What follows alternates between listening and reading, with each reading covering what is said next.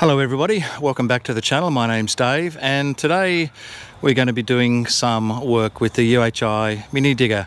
Now we've seen this digger in a couple of previous videos. I did an introductory video and then we used it for putting in some new hedging plants with the auger drive on the front. I've had it now up to about seven months and it still only has about 13 hours on the clock We've just finished doing a job this morning putting some services in in heavy clay just using the 200 mil bucket. And I've just finished pressure washing it so it's all nice and sparkly clean. And I've actually just given it a bit of a spray down with some WD-40 and I find this is a really good method to keep any surface rust off it. Just spray all the external parts with a light spray of WD-40 and it keeps it nice and rust free. But today we are not talking about digging or using the digging bucket, we're actually talking about pallet forks.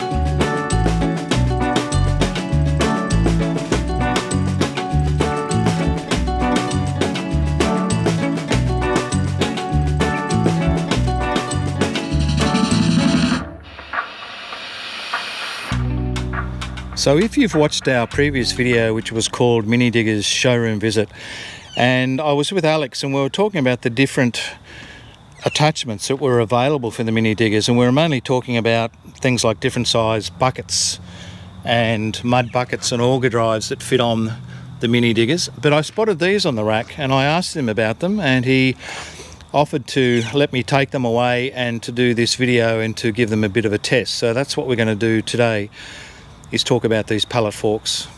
If you go onto Google and do a search on images for mini digger pallet forks, it'll usually give you an image of a more complex type unit, if that's the right word, where you've got the headboard at the back and a supporting rail which hold the forks. And these, when I saw them, I thought, well, wow, these are a really simple type design. So let's have a closer look at what they are. So the center part that attaches on the quick attach is just this box channel and that's 50 millimeters across here and the width of the actual steel used is 4 millimeters. The pin size is 25 millimeters so that will really only fit the smaller diggers and in UHI's case it's the 1 ton machine and the 1.2. I think or from what I've read, is the pin size goes up according to the size of digger. So this 25mm pin will really only suit the smaller diggers. So it's supported. You can see that it's gusseted around there. The welds look to be quite good. But there's no other support for it. So basically all of the force of when you're lifting up will be on this square hollow section steel there. So the arms are the same material, a slightly bigger box section in the middle. Again, it's got gusseting and support that go around it to give it that extra strength. And all they do is basically slide on the ends and we'll put those on in a minute. So it's a really, really simple design. So I guess the next step is to put them on and actually see if it works. So I'm just going to take this 200ml bucket off and if you haven't seen the UHI quick attach system I think it's probably pretty generic with a lot of the Chinese mini diggers. So you've got a bolt here and a pin which I'll just take out and then really some people use a, an impact driver. I usually just keep this loose enough so I can adjust it by hand and I just usually wind it out. And this particular bucket's only quite light so I'm actually doing this in the air whereas if it was a heavier mud bucket I would probably do it on the ground. So just wind this out and then the whole bucket will come off. Like that. So this is just a bit of a closer look at the quick attach system. So you've got this bracket that's fixed that goes around one of the pins and then as you wind this out it just basically brings the other mount out to engage the second pin and that's your quick attach. Quite a simple system but it seems to work quite well. Okay the bucket's removed from the quick attach. I'll go over and get the center piece of the pallet fork kit and put it on the quick attach. Now I can't see any particular way it has to go on but I'm thinking this section has the bracing at the top which I would imagine should face the front so I'll put it on that way put the back pin on swing it up and then just wind our pin back out.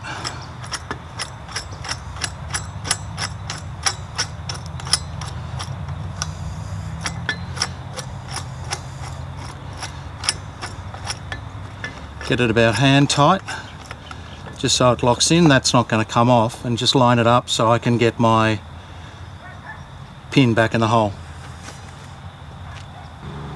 Right now I'll go and get one of the arms and just simply slide it onto this center section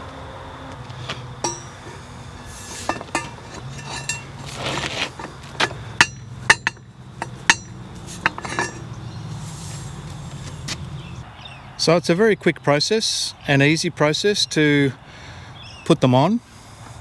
Once the center section's on, it's just a matter of sliding these forks on. And one of them is a bit looser than the other side. The other side is quite tight. And obviously you can adjust the length anywhere along this bar according to what you want to pick up. But what I can see is there's no fixing system to stop this moving or sliding so this can actually move along and I was thinking whether you could actually use something like a a tractor pin or another pin that you could actually put through here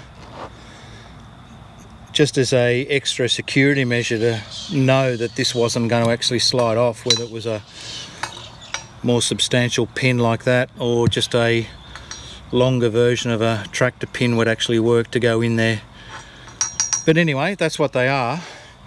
I also notice on the front of the forks or the tube is that it's a flat square section on the front. And if you look at a lot of pallet forks, these are actually inclined back or they're cut, which I guess that gives you a better approach to fit under a pallet that it's not going to actually get caught.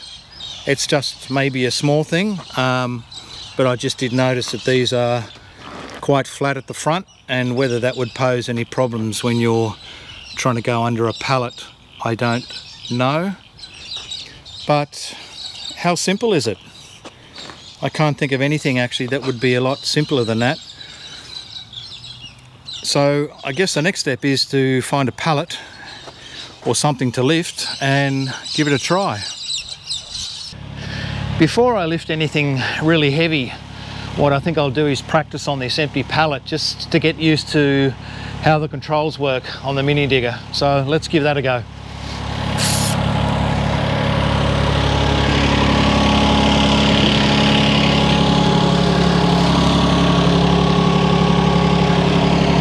Okay, so I'm pretty well lined up, so I think I can almost go sort of straight in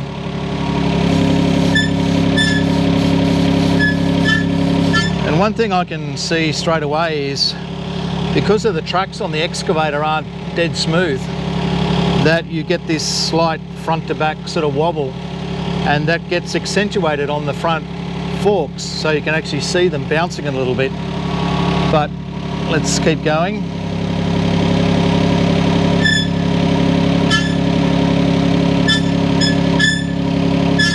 Okay, so I'm under the pallet pretty well and I've been thinking about what's going to happen with the arm and I've got the boom arm at the back and I've got the stick at the front and those aren't going to come up equally. So I'm pretty sure when I lift the boom arm up that the pallet's not going to stay level. So let's have a look at that.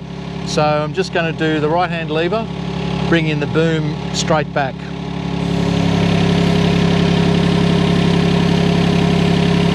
Yep, so what you can see is that the pallet comes up at an angle and if there was anything on that pallet it would now be on the ground so that's not going to work.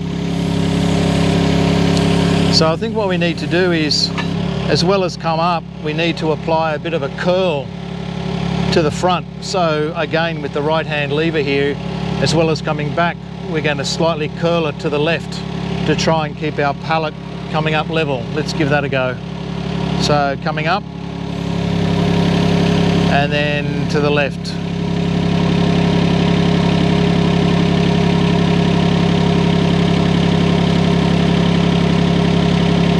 That's pretty good.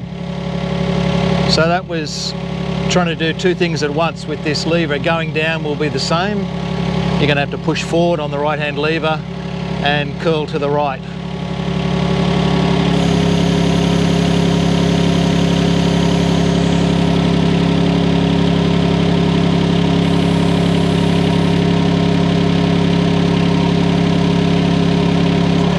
Okay, that all seems to work. Let's go and find something heavier to lift.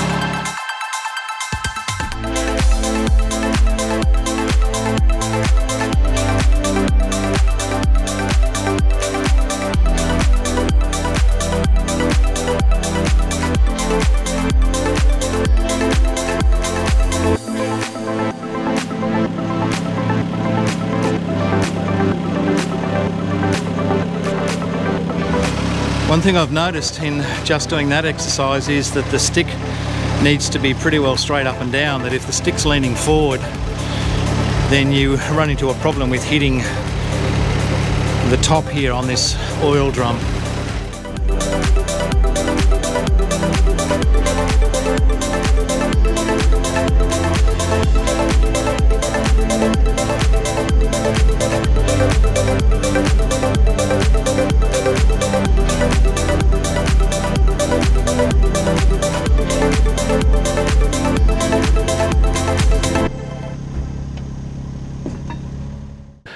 Let's just take a minute and talk about how much weight that these mini diggers can actually lift. So my digger is a UME 12 and the operating weight for that is 1200 kilograms. Now just in front of the blade in the central position here if the boom is straight up and the stick is straight down then theoretically we should be able to lift 20% of the operating weight. So at this point we should be able to lift 240 kilograms in weight. Now with the boom fully extended and the stick fully extended, out at this point here, we drop down to 10% of the operating weight, which means that we really should only be lifting 120 kilograms right at the end out here. And that's why on this model, it actually has written here the safe working limit of 120 kilograms. But I actually think that these mini diggers can actually lift a bit more. So let's have a bit of a test. I have my IBC tote container here and these things hold a thousand litres of liquid which is equivalent to about a thousand kilograms and on the side here it's got markings for each 100 litres and what I'm going to do is I'm going to fill it up to about 300 litres which is the equivalent of 300 kilograms and see if our mini digger will lift it.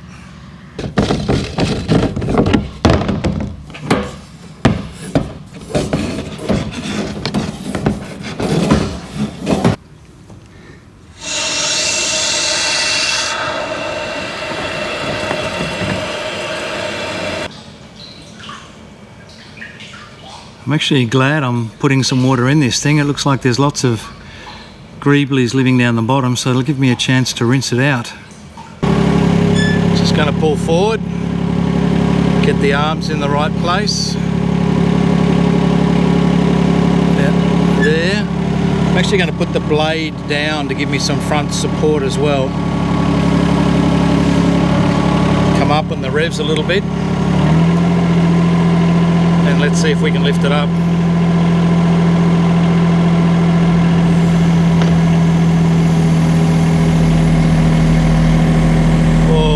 Just gets the back off the ground. So what I'm going to do now is I'm going to take some water out and re reduce it down a bit and come down to maybe 250, 200 kilos, see what happens then. Can you pick that one too?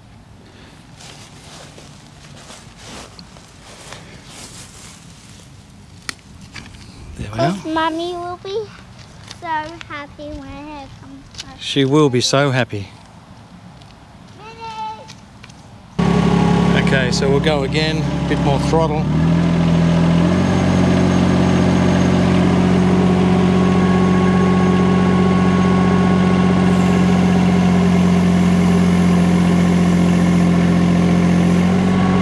Okay, and it lifts it off the ground, so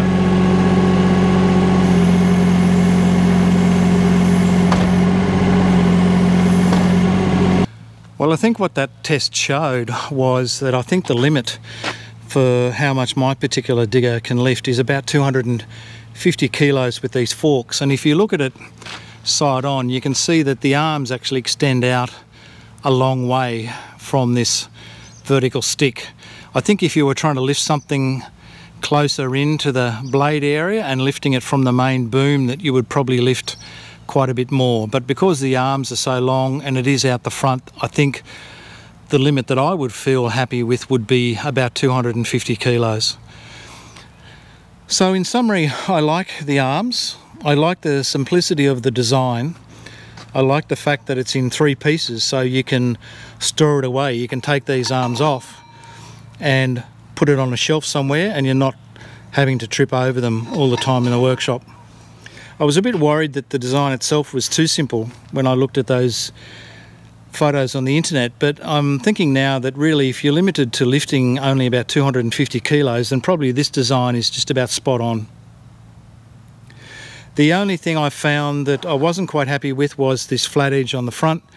A few times I did actually find that I was getting stuck trying to get under the pallets here, so I would possibly modify that and put a bit of an angle on the front, but everything else I think was pretty well spot on.